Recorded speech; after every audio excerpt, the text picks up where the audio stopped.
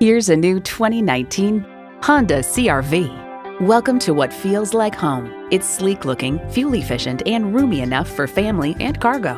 It boasts an impressive list of features like these intercooled turbo inline four cylinder engine, dual zone climate control, streaming audio, digital instrument gauges, front heated bucket seats, power heated mirrors, external memory control, power sliding and tilting sunroof, doors and push button start proximity key, and continuously variable automatic transmission. Honda has a world renowned reputation for reliability. Take it for a test drive today.